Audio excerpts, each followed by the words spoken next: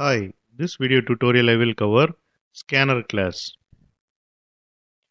Java application can use uh, scanner class to read data from keyboard or file.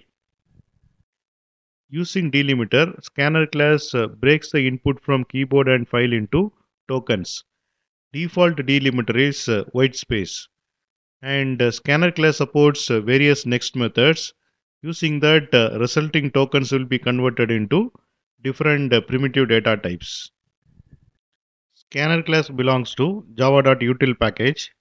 Superclass of uh, scanner class is object class. Scanner class implements uh, closable, auto closable, and uh, iterator interfaces.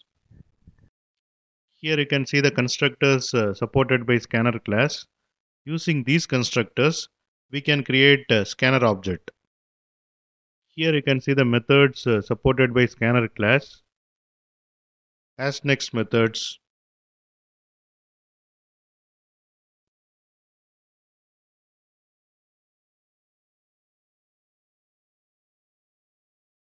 Next methods, etc.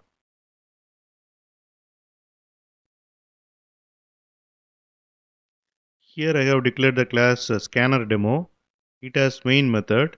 Inside main method, I have created a scanner object using scanner constructor which accept uh, input stream. Input stream I am passing as uh, system.in. Using system.in, we can read data from keyboard.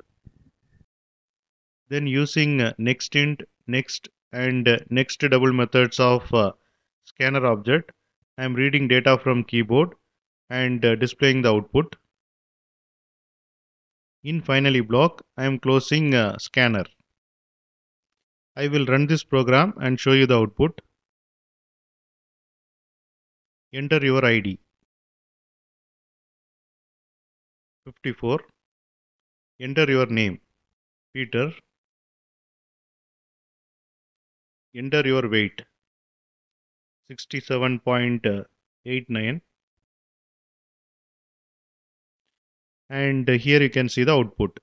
Id is uh, 54 name is peter weight is uh, 67.89 and uh, this is about scanner class. And thanks for watching